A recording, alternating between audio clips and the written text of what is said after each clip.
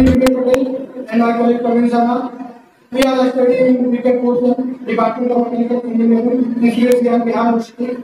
Today I will discuss about my project Pyrolysis of Plastic Waste to produce synthetic film. This project to make a purpose of reduce the waste plastic and to make a pollution environment. In this project to make a use for different type parts like use voltage controller, cylindrical reactor, pressure gauge, and temperature indicator, gas flow pipe, and condensation chamber, and liquid storage tank. Now my friend Sharma explain the working principle of project. We are putting the cross plastic waste inside the reactor. The cross plastic waste is with the help of electric heater.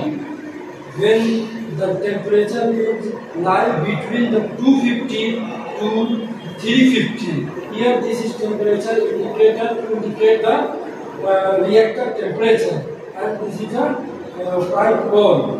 When the plastic waste is produced gases in reactor and gas is go through this pipeline when the pressure is uh, go on uh, high bar and open the and gas is go through this pipeline in the condensation chamber. Then due to the temperature difference, the gas is converted to the liquid.